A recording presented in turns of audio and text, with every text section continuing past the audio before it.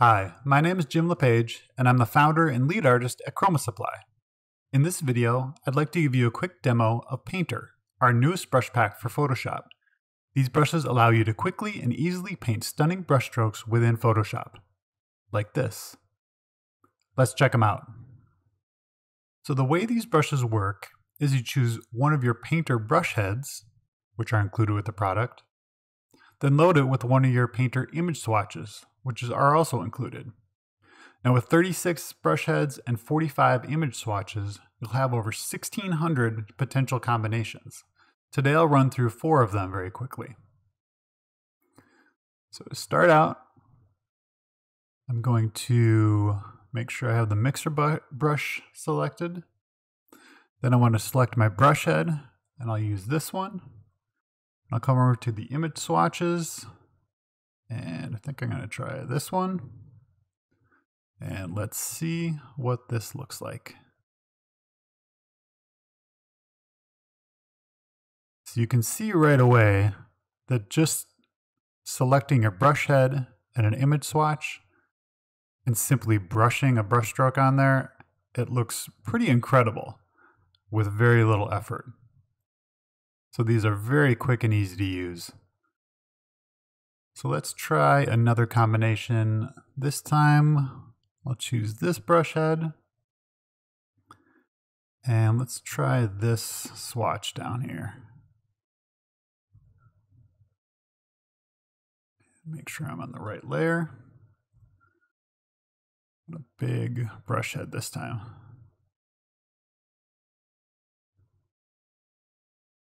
So these work really well for kind of big, thick brush strokes here. And one thing I want to show you on here is even though these look pretty dimensional already, with a little bit of shadow and highlight work, and for that I'm going to use the regular brush tool and just use black and white for shadow and highlights. So I'll create a new layer to put some shadows on grab the soft round brush, set it to about 20%. And I want to have it so the, the it's like the light source is kind of up here. So I'm going to kind of darken all the spots that would not be hit by that light. And this is something that, you know, I could take quite a bit of time on, get it to look really nice. But my point here today is to show you how quickly you can get a decent look from these. So I think that looks good for the shadows. So now I'll work on the highlights. Switch that to white. And Now let's give these some highlights here.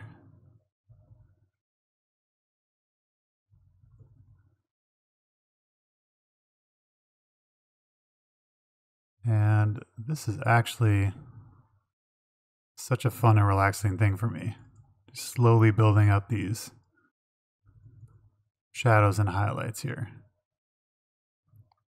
So again, this is really quick here, but let's just toggle off those shadows and highlights. And you can see just that really quick work gives the, gave this a real 3D look. So let's turn that off. And we'll try one more here. And I'll turn it back to the mixer brush tool. I'm going to use this brush head. And let's try this image swatch. So make sure I got the right layer selected. And let's see what this one looks like. Now this is one of my favorite brush heads in this pack because it gives this kind of weird, almost glassy look to it where the colors sort of blend and affect each other. Uh, I really like that look. And something else I'd like to show you on this one is also included in this pack is a set of layer styles. Now these are a way to give you a quick and easy way to change the look of your brushstrokes. So I'll, we'll run through these, and the first three are these boosts, and they primarily have to do with uh, the saturation and contrast. So a bright boost, medium boost, dark boost, and a black kind of dark gray, which looks pretty cool, a little spooky. Might be able to see it a little bit better on a lighter background. Then a white light gray. And again, that kind of glassy look is coming through, which I really like. And gold, chrome, and one color.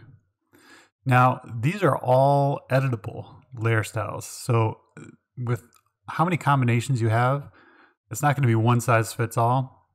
But these will get you, push you in a way where then you can go in and edit those layer styles uh, to make it your own. Now, for example, let's drag the layers palette over here. And right now we have this one color uh, layer style, style applied. So I'm going to double click the layer. And here's our layer style. Now, if you see here, it says edit fourth color overlay. So if we count down one, two, three, four, if we go in here, this is our color. So we can just move that around, change it to whatever color you want. Now, that's just one minor way you can you can tweak this, um, but there's so many things you can do. I would encourage you to play around with these and then dig in here and make it your own. So let's put this back over here. The one last thing I wanted to show is how these can be used for lettering. I am not a great letterer, um, but I still think it's worth showing that even someone like me could get some decent results. So here's a piece of lettering I did uh, very quickly. Not going to win any awards, but for my skill set, I'm happy with that. It's pretty fluid. Um, and what I'm going to do now is just like we added shadow and highlights to that brush stroke earlier, I'm going to do that on, on the lettering here. And it took me maybe a minute to add these, uh, so it's very quickly. But I'll toggle on these uh, shadows there. We'll turn on the highlights. You can see if I toggle them both off. Just a little bit of shading goes a long way here.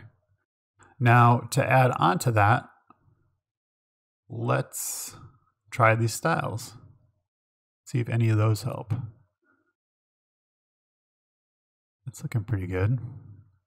Oh, I really like that. Very moody. I like that gold a lot. That looks pretty cool. That chrome is nice too. But yeah, I really like that gold. So if you are someone who does a lot of custom lettering, this could be a great addition to your toolset. Again, unlike most brush packs that are available, these are multicolor.